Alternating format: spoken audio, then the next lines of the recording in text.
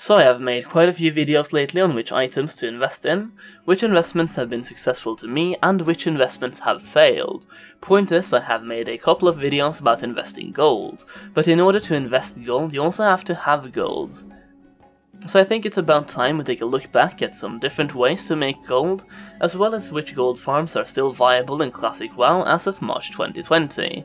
As Classic has been out for quite a while now, some gold farms have become outdated and some gold farms have surfaced where you can make much more gold per hour than other gold farms. First off you have class specific gold farms. Like mages can sell dungeon boosts in pretty much every dungeon out there, most commonly RFC, Stockades, Scarlet Monastery, Maraudon, BRD and Stratholme. Mages can actually make an insane amount of gold by doing this, but it does require some practice and skill. Rogues can also solo certain dungeons, most notably selling certain boss kills inside BRD to sell for example the Hand of Justice, which people still pay a pretty penny for. Speaking of item selling, I should also mention that mages can solo Princess in Maraudon, usually in Fire or Arcane spec, and sell loot from there as well. Back to rogues, you can also run through certain dungeons, typically Dire Maul and Maraudon, to look for treasure chests and mining or herbalism nodes. This is particularly good for rogues because you can stealth past mobs, and if you do see a treasure chest, you can burst down the enemy pack guarding the chest, if you have to. As a hunter, you can sell Dire Maul tribute runs, where once again you can sell boss loot, or you can simply clear the dungeon and sell the boosts from Dire Maul, allowing you to make some very easy gold.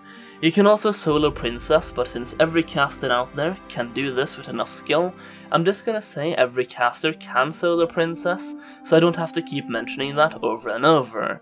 Hunters also have an edge out in the open world when soloing elites, like for example in Winterspring, when hunting for the Eye of Shadow, because they have a pet that can tank for them, and if the pet dies you pretty much have endless kiting options as well. Tanks and healers can charge a fee for tanking or healing dungeons, or they can reserve bound on equip items, unwanted loot, or just any sellable items in general, since tanks and healers can be difficult to find. The better gear you have as a tank or a healer, the easier this service will be to sell, because you can advertise your gear making you much more attractive to groups looking for a tank or a healer. If you're not playing any of these classes, do not fear, as I will also cover a couple other gold making methods in this video as well. First off, there's this somewhat new gold making strategy that has gradually become more and more popular on my server, which is doing gold bid raid runs. This is particularly popular in Molten Core, where people are eager to gear up their alts, but people also do this in Blackwing Lair. The harder the raid is, the more profit you'll get, because people will pay more for the items. This can be done in several ways, but the most common and most fair one is that when an item drops, you bid gold for it. The one that bids the most gold wins the item, and the gold goes into a pot that is shared between the members at the end of the raid. A couple of guildmates of mine did this last week and both got exactly 400 gold each from one Molten Core raid. Keep in mind that all gold is shared equally between members, meaning that the total pot in this case was 16,000 gold, which actually isn't that much, but 400 gold for the one Molten Core run is definitely good money if you ask me. This gold making method will also keep increasing in efficiency, as more liquid gold is introduced to the game by people farming gold and by more raids being introduced to the game allowing more runs per week. Even when set G comes out, selling MC runs like this will still grant a nice chunk of gold, because people are still willing to spend gold gearing up their alts. This method does however require you to have some gear yourself, as well as knowledge on boss mechanics and just some raiding experience in general. So in case this is not something for you, I will also cover some open world farms and some profession farms. But if you do have some knowledge on raiding in Classic, and you have some raiding gear, I would definitely recommend you check this method out for yourself. You can start by recruiting more people in World Chat and LFG Chat right now, and a week from now you too can be doing gold bid raid runs, so there's really no excuse here, it's all about how you want to make your gold. But let's talk about some other gold making methods as well. Let's start with a couple of profession-specific gold-making methods, since those are probably the easiest to do, and can be done at pretty much the same efficiency by every class. First off, you have the common Black Lotus hunting. This can be very profitable since Black Lotus is on most servers around 140 gold. So if you can find one per hour, that's 140 gold per hour. Other than that, you can also choose to go out there and farm other herbs for a lower amount of gold per hour, but more consistent gold per hour if that makes sense. Which herbs you should farm is dependent on what server you play on, but for most of us I think Winter's Bite, Dreamfoil, Gromsblood, Mountain Silver Sage, and Plague Bloom are all selling quite well. For these herbs I'd recommend doing complete laps around Alterac Mountains for Winter's Bite, Azshara for Dreamfoil and Mountain Silver Sage, and Eastern Plaguelands for Plague Bloom. You can also farm Fire Bloom in Blasted Lands or Burning Steppes, these are currently selling for 80 silver apiece on FireMaw, and when I farm them I can consistently obtain a bit more than 2 stacks per hour, giving me 32 gold plus per hour from farming these.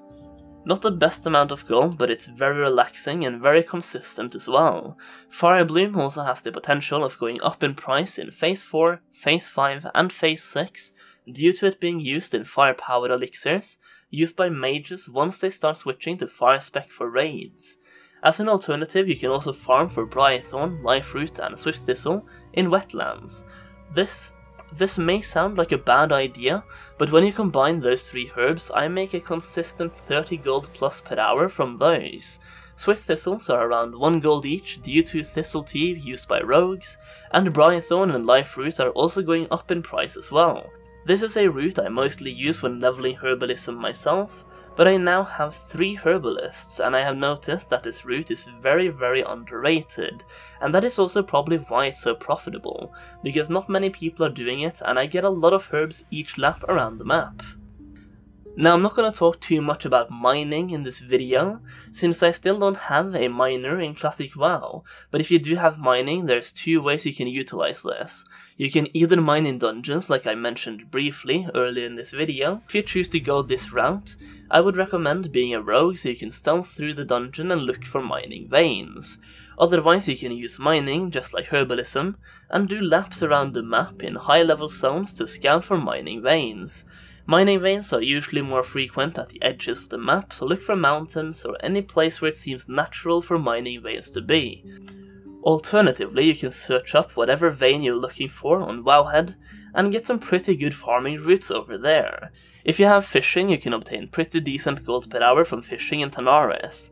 The fish that will make up your gold per hour here is the firefin snapper, stone scale eel, spotted yellowtail, and winter squid if you're fishing in the winter. Spotted yellowtail is actually used in phase 5 for the AQ war effort, so don't throw those away.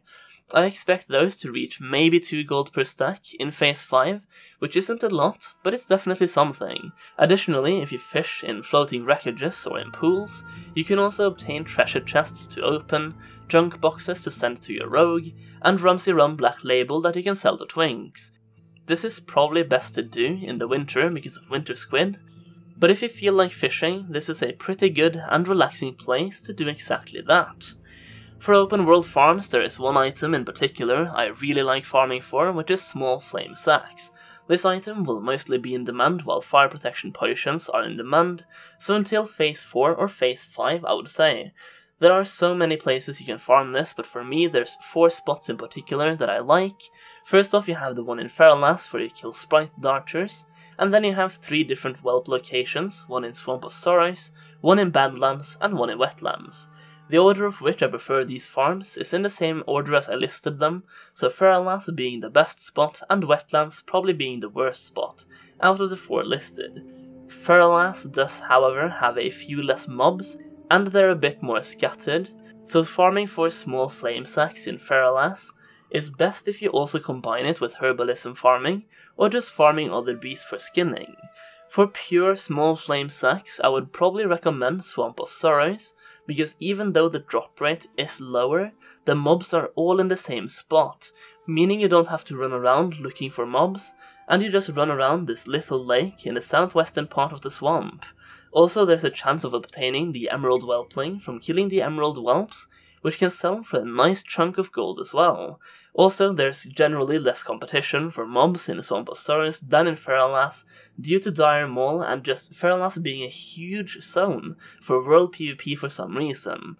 One downside here, however, is how fast you kill the mobs, so you should definitely combine this farm with killing other beasts and skin them, or herbalism. My recommendation would be killing spiders just east of where you kill the whelps, since spiders have a pretty good loot table. Other great open world farms is pretty much any elemental out there, whether that be fire elementals, air elementals, water elementals, or earth elementals. The only problem here is that most spots are taken or highly contested by other people either from your faction or from the enemy faction. Either way I will show you a couple of screenshots from where I farm my elementals on the screen right now, just so you get an idea of where to farm them, and then you can check out the farming spots for yourself. As a little side note, light feathers are currently selling for 1 gold each on my server, and you can obtain them in starting zones and zones like Westfall. If you go to the northwestern part of Teldrassil, you can also farm harpies there and obtain a few light feathers there, although the drop rate is really really bad. There are lots of harpies there though, and you can acquire quite a few linen cloth and level 5 to 10 green items you can sell on the auction house to people leveling alts. I will upload another video where you can obtain over 100 light feathers in 1 hour. I obtained 20 of them in 5 minutes myself, and I will show you the exact location in that video. That video should come out on Monday, so subscribe and turn notifications on. Alternatively, if you want to take advantage of that farm before it becomes public, the information is currently up on my Patreon specific Discord server. So there it is, a semi-quick video discussing different ways to make gold just to give you guys an idea of how you can acquire gold. I have already made a lot of videos in the past about different open world farms in Classic WoW, as well as instant farms as well, so I didn't feel like repeating myself by showing multiple examples of all types of farms, because I have already done that. If you have any questions about gold making in WoW, leave a comment down below or join my Discord server through the link in the description and ask me over there. We have a huge gold making community on Discord with over 500 members in that server, so if you want to learn more about gold making and investing in items and so on, that's definitely the place to be. Once again, a huge thank you to all of my supporters over on Patreon. Without you guys I would not be able to push out this much content, and your support truly means a lot. VIP level patrons can see their names shown on the screen right now. If you want to support me on Patreon as well, you can do so by clicking my Patreon link in the description, or click that pop-up button on the top right. Thank you so much for watching this video, and I will see you in the next one.